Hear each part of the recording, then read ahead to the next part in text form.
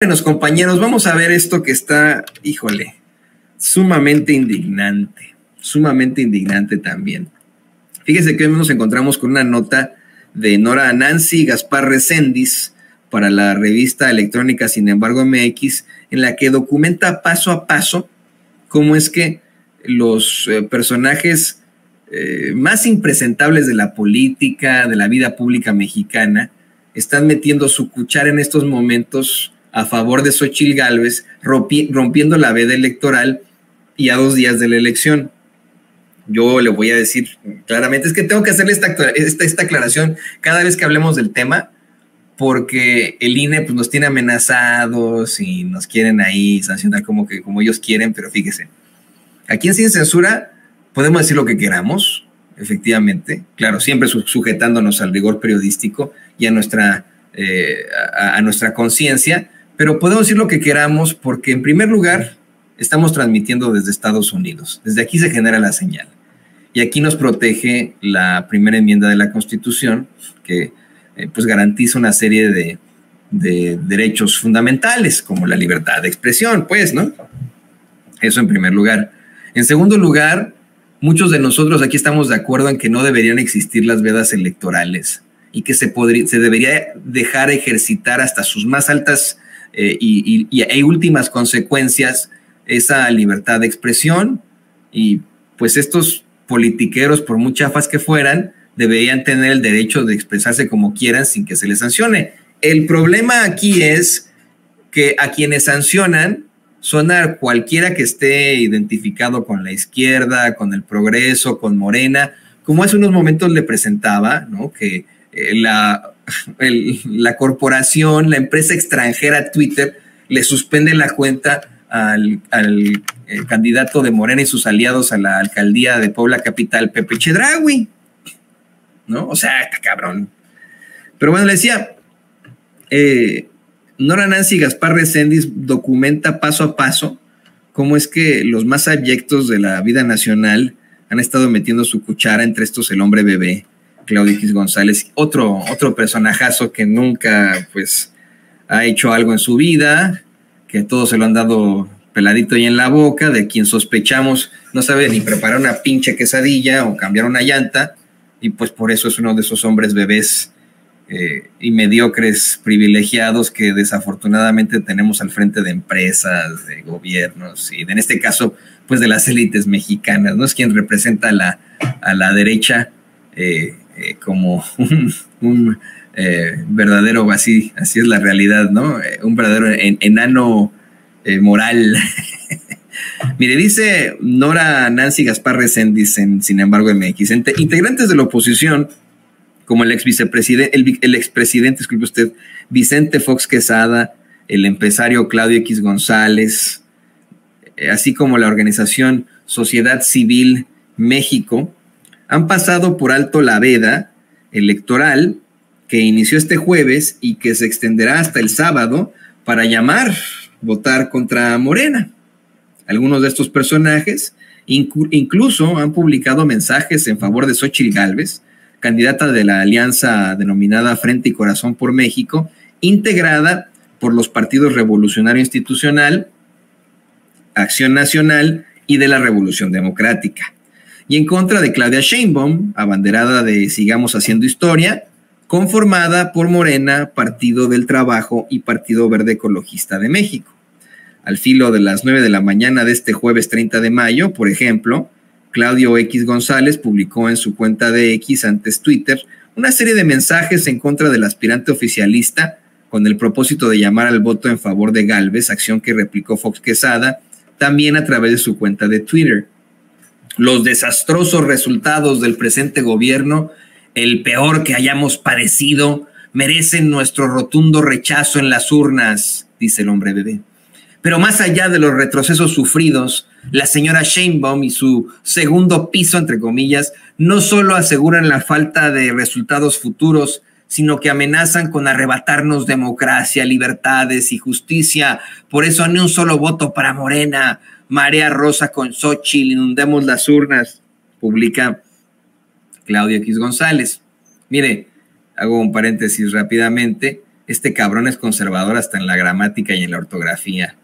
Desde 2010 se determinó que ya no se debe utilizar el acento en solo. Yo no estoy de acuerdo, ¿eh? Yo creo que eh, sí debe llevar acento solo para referirse a, pues vamos, e, e, esa unificación de algo eh, y, diferenciarlo entre la soledad, ¿no? Eh, aquí está el ejemplo, ¿no? solo, solo, me siento acompañado, ¿no? Ese es un, enunciado muy chistoso, pero que exhibe la diferencia entre solo y solo, ¿no? Por ejemplo, pero bueno, fíjese cómo hasta acento en solo le pone este cuate como el retrógrada que es el conservador, que es ya no se usa el solo, hombre bebé, ya no se usa el acento en solo, hombre, ya. Modernícese, le quitaron el acento también a este en el 2010. Luego salieron a decir, bueno, si quieren dejar ponérselo, pues pónganselo, porque hubo muchos quejosos como Toño Ruiz, pero yo, miren, yo prefiero modernizarme decir, si ya no se le va a poner acento a solo, pues ya no se le ponemos y ya no pasa nada.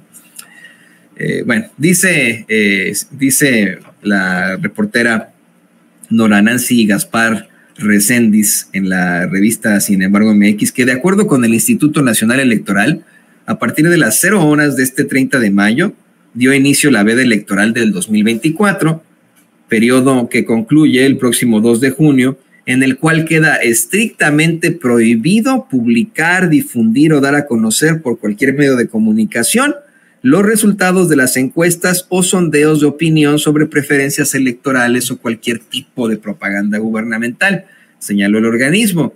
Dicho lapso también es conocido como periodo de reflexión, mismo que tiene el propósito de que la ciudadanía razone su voto, valore las propuestas de las candidaturas, y ejerza su derecho al sufragio de manera libre y secreta. El INE convoca a las y los ciudadanos a analizar la oferta política que les permite emitir un voto libre y razonado el próximo 2 de junio, indicó el instituto mediante una nota informativa. Además, en el artículo 7 de la ley en materia de delitos electorales, dice, sin embargo, MX, se establece que se impondrá de 50 a 100 días de multa y prisión de seis meses a tres años, lo cual, miren, no alcanza la media de un delito grave. ¿eh?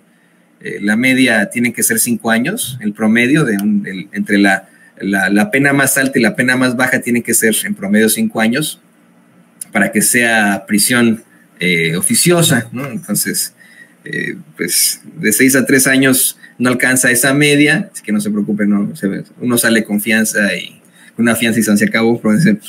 A quien publique o difunda por cualquier medio los resultados de encuestas o sondeos de opinión que tengan por objeto dar a conocer las preferencias electorales de los ciudadanos. Aunque Claudio X González no es dirigente partidista ni candidato, ni autoridad, es dirigente político de una organización que impulsa un proyecto político electoral Aquí también le ponen, sin embargo, solo acento, solo dice, solo hay que recordar que el empresario fue quien llamó y unió en un solo bloque al PRI, PAN y PRD por ir en contra de Morena y eh, del gobierno que encabeza el presidente Andrés Manuel López Obrador. A ese primer mensaje sucedieron varios más, tanto en X, González como de otros opositores, entre ellos el muy asqueroso del el expresidente Vicente Fox Quesada, e incluso de organizaciones como la Marea Rosa. Y dice, bueno, una es, está claro que el futuro es Xochitl, otra es, es una campeona en campaña y ahora será presidente de México Xochitl. El segundo eh, piso como propuesta es equivalente a la caída del metro como realidad. Si fuera ella, ya nos jodimos con el voto del cambio. Ya sabe, pura estupidez que publica este señor, que está mal de la cabeza, o que pues se excede en su consumo de la cannabis. Ya sabe usted que él pues, abiertamente habla de su eh, afición a los paraísos artificiales, específicamente a la marihuana, y de pues cómo le gusta quemarle las patas al diablo, ¿no? Ahí a veces, yo me imagino que sabe quemar el, bigotito, cuando está ahí dándole con el carro, así dándole duro duro, él asegura que todo es tomada, que es untada la mota que se pone, ¿no? no mames, qué pedo. Pero bueno, pues era el sereno. Lo que sí es que está metidazo, ¿no? Dice sin embargo, eh, en mensajes posteriores el exmandatario llamó explícitamente al, voto en favor de Xochitl Galvez. Está claro que el futuro es Xochitl, sostuvo Fox pese a la veda electoral. Clase medieros, todas y todos, nos vemos el domingo temprano, vamos a ganar, presidenta Xochitl expresó en otro mensaje. Además, en un video señaló, es una campeona en campaña y ahora será presidente de México. Su sociedad civil, dicen ahí en Sin embargo MX, que encabeza la panista Ana Lucía Medina Galindo, que su casa la conocen. También difundió este jueves en plena veda un video en el que llama a votar el 2 de junio, en el que comparte imágenes de su última concentración en el Zócalo de la Ciudad de México, en las que llama a votar por Xochitl Gálvez. Uno de los integrantes que se ha manifestado en contra de Morena, reportan ahí en Sin embargo MX, y del presidente Andrés Manuel López Obrador es el saco de pus, yo le agrego saco de pus, El saco de pus, Javier Lozano Alarcón, exsecretario del Trabajo del gobierno de Felipe Calderón, quien escribió, la cuenta regresiva sigue en marcha para poner fin a la pesadilla de López Obrador y Morena. Ya falta menos para recuperar la esperanza y el progreso para México. Por su parte, el publicista Carlos Cacarraqui, Alarraqui, también yo le agrego soy el Cacarraqui, la mañana del jueves publicó un video de opinión en el que tenemos ese video, por, por, cierto, don David, de casualidad. ¿Lo tendrá de ayer? Dígame que sí, amigo. Dígame que sí. ¿Lo tenemos o no lo tenemos? El del cacarraqui, ¿no? Que publica este. Ah, sí, lo... Eso es todo, don David, ya se la sándwich. Vientos, don David, a ver, pónganos al cacarraqui para que nos vomitemos un ratitito. Eh, si usted tiene que motivarse, eh, eh, no, no lo haga, no lo haga. Más bien que ¿qué, le parece que ponga mejor su café de lado? No lo vaya a escupir. Su desayuno. Respire. Respire, por favor. Respire profundamente. trate de, quitarse el, el asco. Más un limoncito con sal. Y escucha el cacarraqui. Familia Típical, muy buenos días. La carta de este jueves que he escrito para Típical TV se la dirigí a todos los electores en México. Y como cada jueves les recuerdo, me hagan el gran favor de viralizar este video entre todos sus conocidos. Mil, mil gracias. Bien, vamos a la cabeza de la carta. La cabeza de la carta dice carta dirigida a los electores. Ah, vaya paréntesis. Ya, ya no voy a torturar al público con sentido. Sinceramente, quiero que, que ustedes vean cómo están metidazos en la elección. Y fíjese, insisto, ¿eh? de verdad, deberíamos tener todos el derecho de pues hacer este tipo de planteamientos abiertamente sin que nos esté sancionando la autoridad electoral y nos amenace hasta con cárcel por eh, expresarnos libremente. Eh, yo estoy de acuerdo en que estos cabrones incluso digan y hagan y deshagan, ¿eh? Pero que hagan ellos y que no le permitan a los demás, a los de Morena y los progresistas, pues eso sí es lo preocupante, ¿no? Eso es lo, lo que me molesta, lo que no me parece justo. Dice esta nota, sin embargo, MX, una cuenta de X antes Twitter que promueve el voto en favor de la candidata que impulsa el PRI-PAN-PRD es una de las oficiales de Xochitl. ¿eh? También ha continuado con el proselitismo en busca de más apoyo para Galvez, bajo el argumento de que la veda electoral solo aplica para los partidos políticos y no para los ciudadanos. Sin embargo, esta medida también aplica para otros actores como las casas encuestadoras, las cuales no pueden difundir encuestas porque de hacerlo serían multadas, ¿no? Y así. Que no te intimiden y quieran callarte. La veda electoral aplica para los partidos políticos y no para los ciudadanos. Alza la voz. Nos vemos el domingo, ¿no? Y fíjese, estos mismos cabrones van a ser los que cuando eh, pues consideren ellos que alguien está violando la veda electoral, los van a denunciar ante los tribunales, como siempre lo hace Xochitl, ¿no? es decir, están violando la veda electoral. Dice, sí, güey, pero tú en tus cuentas oficiales escribiste que solamente aplica para los partidos políticos y no para los ciudadanos y que alzáramos la voz. Sí, pero solamente estoy hablando de los fachos. Ustedes, chairos, no pueden. Bueno, eh, dicen, sin embargo, MX. Otra a la que no le importó estar en plena veda electoral, y prepárame el video, don David, fue a Sandra Cuevas, exalcaldesa de Cuauhtémoc en la Ciudad de México. Yo le tengo un mejor título, ¿eh? A, la, a, su, a su señoría eh, Sandra Cuevas. Eh, ya sabe que aquí en Sin Censura, pues para nosotros es su señoría, la excelentísima ex alcaldesa Sandra Cuevas, ex duquesa, no, sigue siendo duquesa, pero es duquesa exprianredista del reino de Cuauhtémoc y ahora también ex emesista. Todo es ex, ¿no? Ya, o sea, con todo el mundo está peleada esta señora, ¿no? Pero bueno, salió Sandra Cuevas y reportan ahí en Sin embargo MX eh, a remeter en contra de Katy Monreal, candidata de Sigamos Siendo Historia, y de Alessandra Rojo de la Vega, abanderada de la coalición opositora, los del PRD, pues, ambas aspirantes a encabezar la alcaldía Cuauhtémoc. Dicen, a través de un video que se difundió en la red social X antes Twitter, X antes Twitter, eh, Cuevas, quien ahora está en busca de un lugar en el Senado de la República, se quejó de las críticas que recibió por parte de ambas eh, candidatas durante el proceso de campaña de mira a los comicios electorales el próximo 2 de junio. A las dos candidatas que están contendiendo por el gobierno de la alcaldía Cuauhtémoc, Alessandra y Catalina. Ambas decidieron basar su campaña en desprestigiar a Sandra Cuevas. El rival a vencer era la sombra de Sandra Cuevas.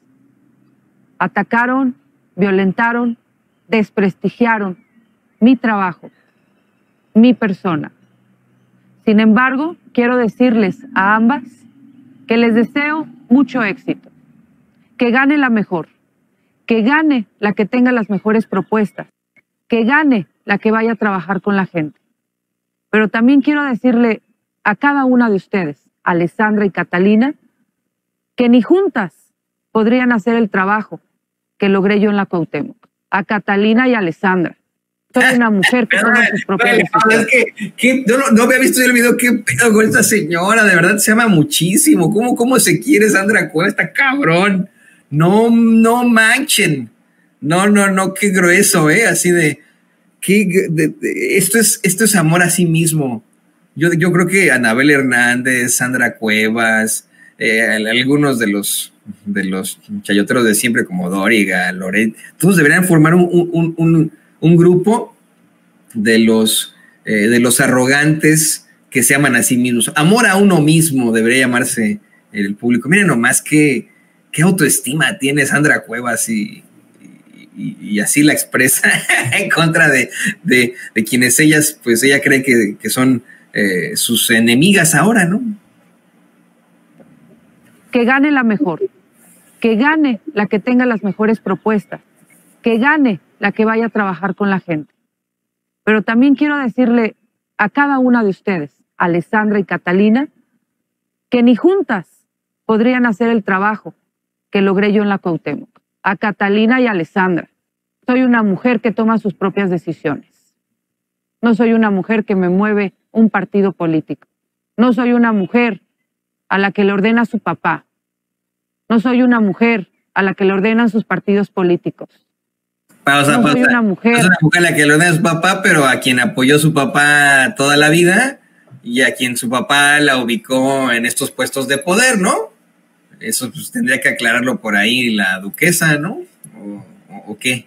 Por cierto, la señora duquesa, exalcaldesa, exprianredista del reino de Cuauhtémoc, su señoría, su alteza serenísima, eh, demandó a Sin Censura y a Vicente Serrano, eh, fíjese, ¿eh? ante el INE de la Ciudad de México, esos infames que vienen aquí a Estados Unidos nada más a pasearse, pero no vienen a Kansas City, ¿eh? van a Chicago, a Los Ángeles, a las ciudades más sexys a pasearse, dice que aprobó el voto, pero nada más inauguran murales pedorros y etcétera. Tuvieron el descaro de mandar a la casa de Vicente Serrano un requerimiento acusándolo de eh, violencia política en razón de género, porque le digo, es a los que están del lado correcto de la historia los que sanciona el INE cabrón, ¿no? Pero bueno.